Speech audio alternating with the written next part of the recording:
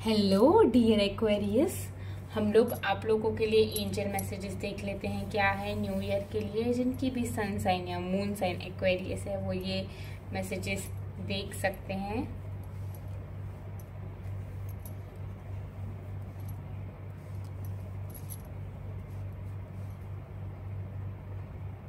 Dear angels Aquarius a year from now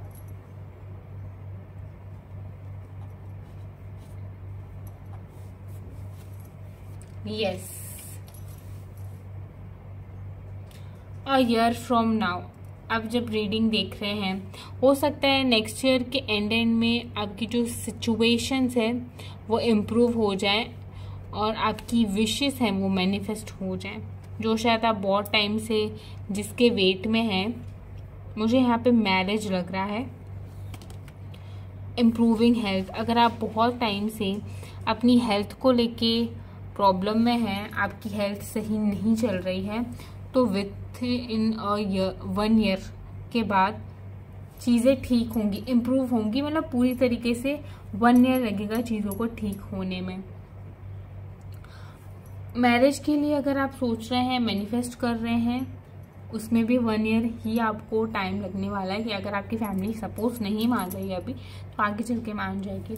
अगर आप conceive करने की ट्राई कर रहे हैं मैरिड है, बहुत टाइम से ट्राई कर रहे हैं, कुछ हेल्थ रीजंस की वजह से कंसीव नहीं हो पा रहा है, आप मैरिड हैं तो उसमें भी आपको नेक्स्ट टू में गुड न्यूज़ मिले और हो सकता है कि ट्विंस की आपको गुड न्यूज़ मिले फॉर फीमेल्स ये एक और मैसेज बहुत ही स्ट्रॉन्ग आ रहा है। आपका हार्ट चक्र बहुत ही अच्छी वाइब्रेशन में जो भी ये रीडिंग देख रहे हैं। देर इज़ समथिंग बेटर बहुत ही अच्छी चीज़ें होने वाली है। मैंने बोला जब हार्ट चक्र के बारे में तो कार्ड भी हमारे पास उसी तरीके का आया है।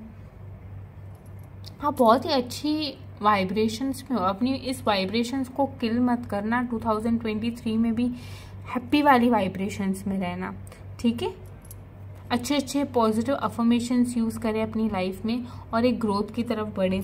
अपनी रूटीन को कुछ ऐसा बनाए कि आप नेचर में अपना टाइम स्पेंड करें। ट्रीज के पास में कुछ हीलिंग एनर्जीज होती हैं, जैसे अगर कहीं पे आपके पास में, आसपास में एक साफ़ सुथरी नदी हो, जो कि अभी के लिए थोड़ा पॉसिबल कम है, इतना पॉल्यूशन हो गया तो वहाँ पे जाने की ट्राई करें। बीच हो, अगर गार्डन हो आपका, घर में भी गार्डन हो तो आप उसके पास भी बैठ सकते हैं। आपको नेचर बहुत ही ज़्यादा हीलिंग देने वाला है। तो ये टिप्स ज़रूर ट्राई करें। ये थे आप लोगों के लिए मैसेजेस मिलते हैं अगली रीडिंग में। तब तक के लिए बाय गॉड ब्लेस यू